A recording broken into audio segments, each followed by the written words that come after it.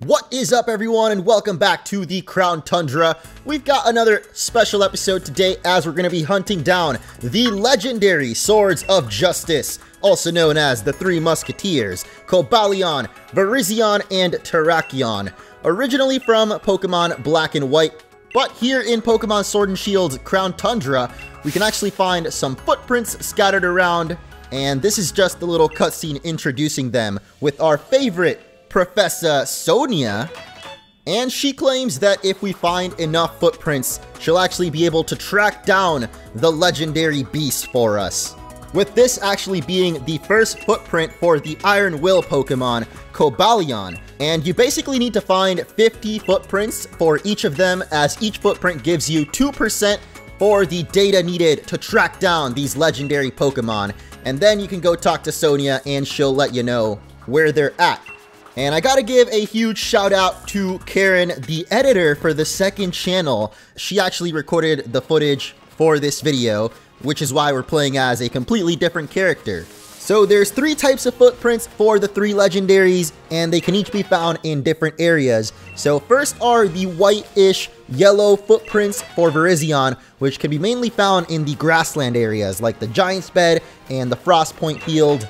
We've got the brownish footprints for Terrakion, which can mainly be found in the various caves around the Crown Tundra, as well as near the Dynatree Hill. And the blue footprints for Cobalion, which can mainly be found in the icy areas and the caves nearby it. The one thing that you should know though is that they're completely random. There's no like set location for where they're at. Unlike the Digletts back in the Isle of Armor, where they would always be in the same spot, these footprints can actually just spawn at random, so it can still be a little bit tedious. So we're going to be going after Virizion first, and as I mentioned, its footprints can be found in the grassy areas of the Crown Tundra. They can be a little bit hard to spot sometimes because it is in the grass, of course, but in general, I think the best way to go about finding the footprints is to stick around a certain area, and eventually they'll actually start spawning around you. Another big brain tip is once you spot one footprint, usually more of them will spawn nearby it. So if you don't want to pull your hairs out waiting or you're confused or they're not spawning for you, I'd recommend just maybe getting into some wild battles. I mean, might as well try to complete the Crown Tundra Dex while you're hunting these footprints down. Because basically spending more time in the area, uh, the more footprints will start spawning. Just keep running around, eventually you will find them. Like I said, you need 50 of them in order to hit that 100%. You can actually find more than 50 footprints, technically, but once you hit that 50, no more will spawn, at least for that one Pokemon.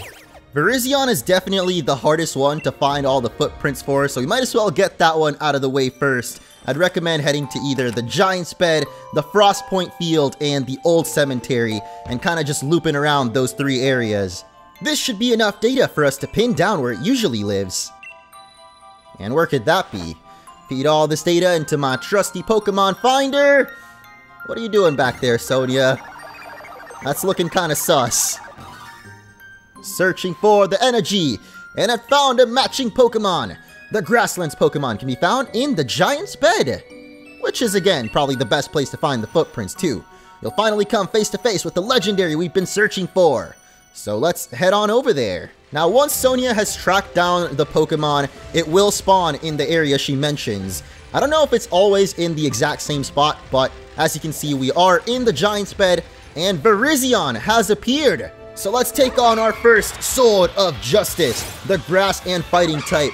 Not to be confused with the famous internet provider if you need any tips for how to catch legendary Pokemon, I've actually already put out videos on how to get the Galarian legendary birds as well as the Regis. But basically you want to get their HP down to the red zone, maybe bring a Pokemon with Thunder Wave or Hypnosis, and start chucking away those balls until you finally catch it.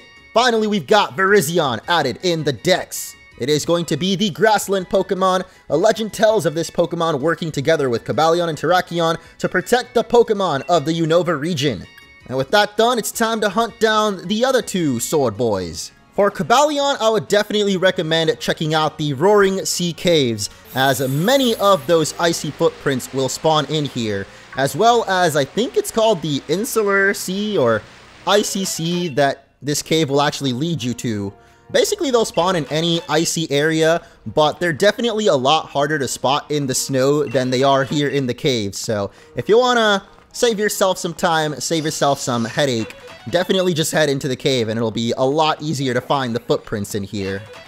And same as with Virizion, eventually footprints will just spawn out of nowhere if you keep running around. And if you still don't have enough, then head out here to the Frigid Sea, and there should be plenty more footprints for you. Just watch out for those feels. I've heard their bite is deadly. Deadly cute, that is. You can also search this island in the middle of the Frigid Sea. I actually managed to find a lot of the footprints spawning here for me, and this also happens to be where Cobalion itself will spawn once you've gathered all the footprints. Just make sure to talk to Sonia once again, and she'll activate her trusty tracking device to make it appear in the Frigid Sea. Which means it's time to catch our second Sword of Justice, and probably my favorite one. I don't know why, I guess I just like its design, but I believe it is a steel and fighting type. Of course, all of them are at least half fighting type, with Terrakion the final one being the rock one. But Cobalion here, Steel and Fighting, is going to be caught with the Dusk Ball. So, the Iron Will Pokemon in a legend alongside the other two, fighting against humans in defense of the Unova region's Pokemon. Okay, that's basically the same description as Virizion. For Terrakion, we're to head over to the Ballimere Lake, otherwise known as the area with the giant tree where the Galarian legendary birds spawn. Also, it's probably best not to use the bike because it goes way too fast and it's sometimes a little bit hard to control precisely, so you could just walk over the footprints on accident. You can also find them in the Lakeside Cave, which is nearby and they're probably a lot easier to spot than they were back in the grassy area. Yeah, this is definitely going a lot smoother here in the cave, so again, you can keep running around this place and eventually footprints will also respawn if you don't want to deal with uh, having to look around on the grass, because they can be kind of hard to spot sometimes, in the grass at least, or in the snow, so definitely stick to those caves, and it should make tracking down the footprints a whole lot easier. So finally, we're going to turn in the data for Terrakion. Search for those energy signatures, and it will appear in the Lakeside Cave, where we were just at. So let's head back into the secret tunnel, and Terrakion should be spawning somewhere nearby. There you are, my man. You know what? I'm gonna change my favorite right now on the fly. Cobalion, you're donezo, bro. Terrakion is my new favorite mainly because it's the only one that I actually have in Pokemon Go. We're gonna go for the Dusk Ball and catch it once again.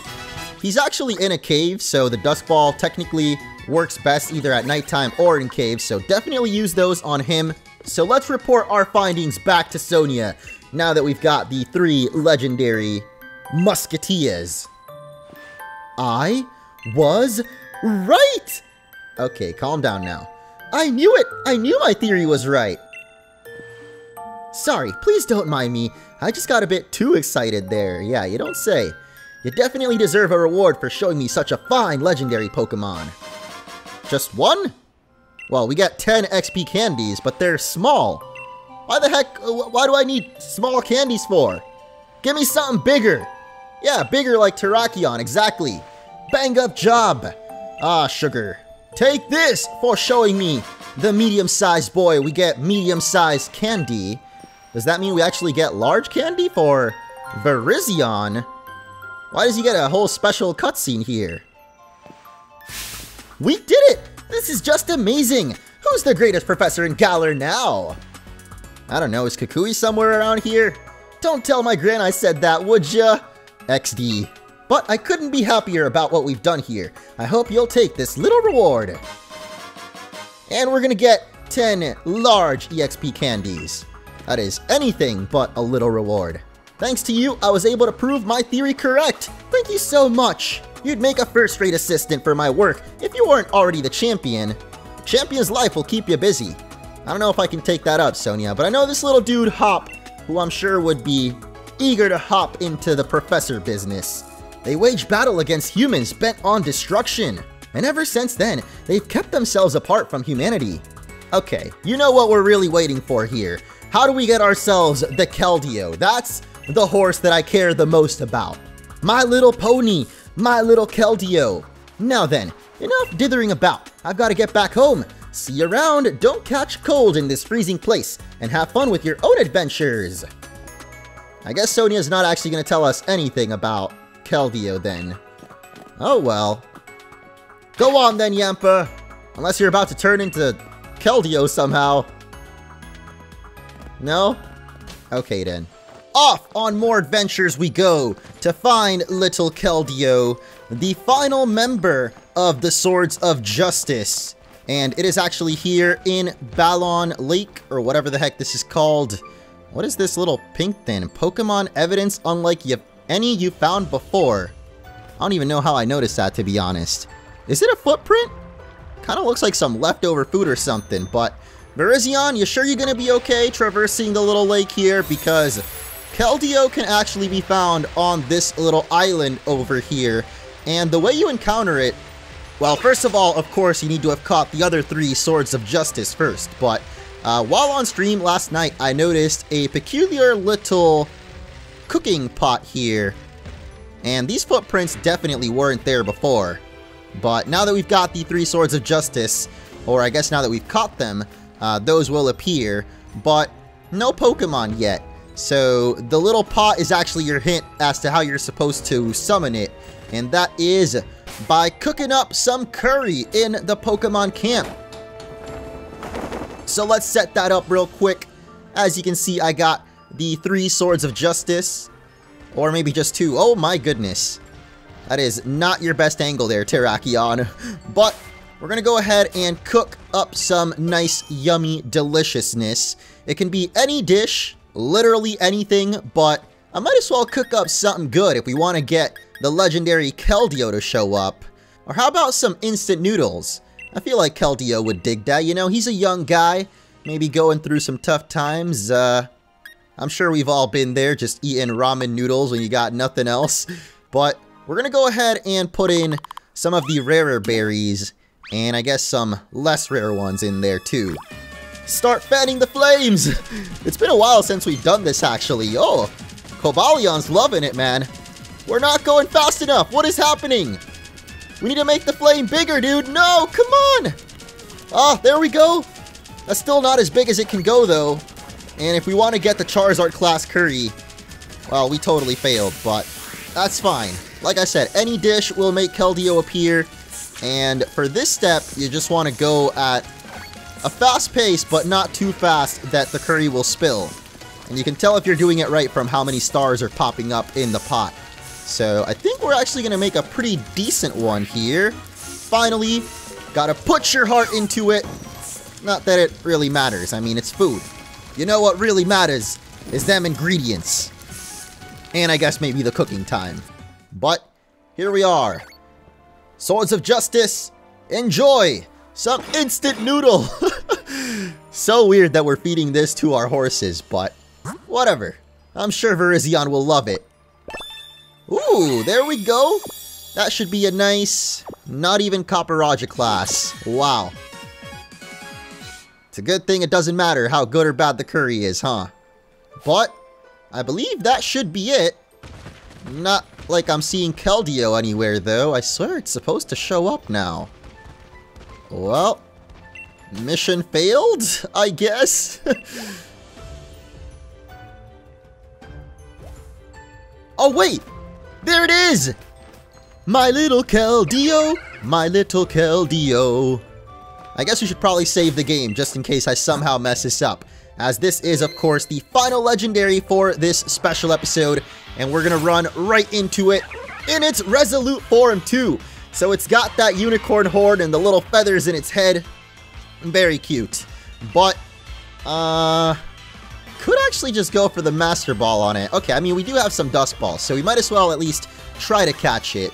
As Keldeo is, of course, a fighting and water type, I'm kind of scared that we'd accidentally kill it with Leaf Blade, so I'm going to go for the Sacred Sword instead, which is the signature move of all of the Swords of Justice.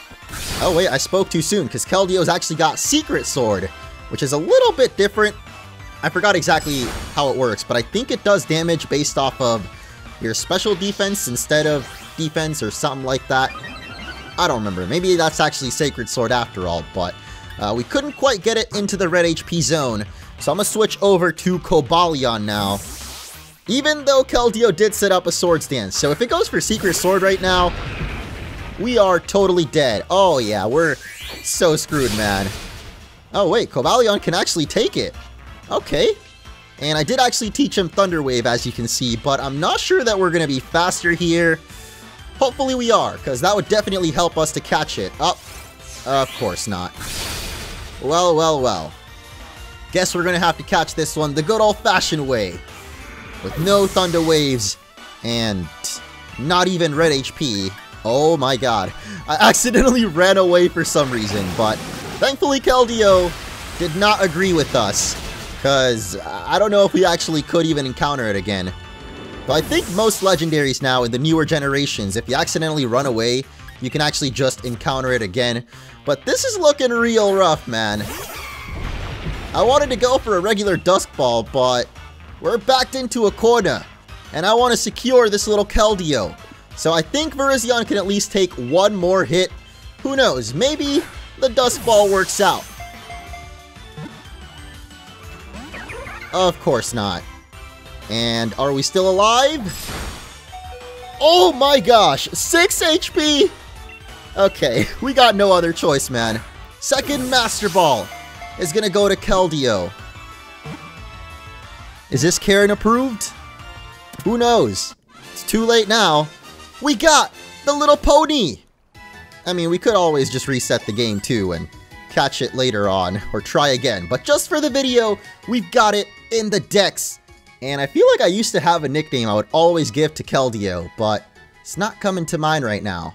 Let me know in the comments if you remember. So we're just going to go ahead and add him to the party. What the heck? Why did it not show his, like, Pokedex entry? Is he not officially part of the Crown Tundra Dex, or what? I'm pretty sure he is. What? He's not. Well, we might not be able to see it in the Pokedex, but let's at least check it out outside of battle.